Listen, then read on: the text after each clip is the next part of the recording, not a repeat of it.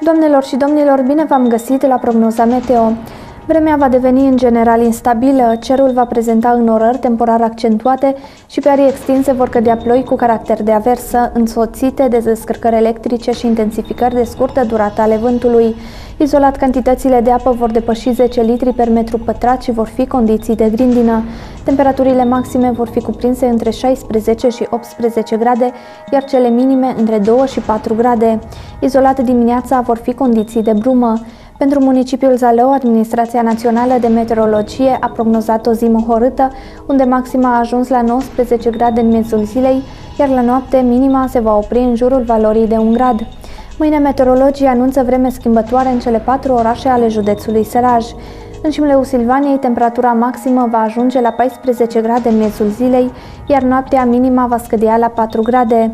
Temperaturi asemănătoare vom avea și în municipiul Zalău, unde, potrivit Administrației Naționale de Meteorologie, maximele vor atinge 14 grade în miezul zilei, iar minima va coborâ la 4 grade.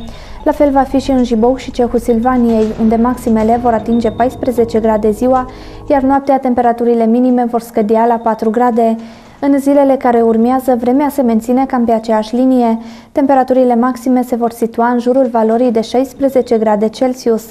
Miercuri vom avea parte de vreme cu nor și soare, maxima va atinge 14 grade în timpul zilei, iar noaptea minima va scădea la 4 grade. Joi temperaturile cresc din nou, maxima va ajunge la 16 grade în miezul zilei, iar noaptea minima se va opri la 4 grade. În cursul zilei de vineri, maxima se va situa în jurul valorii de 16 grade, iar noaptea temperatura minimă va coborâ la 2 grade.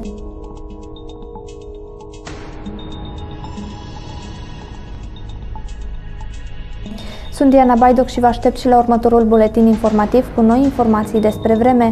Mai multe detalii legate de prognoza meteo puteți găsi însă și pe site-ul nostru www.sălăjanul.ro. La revedere!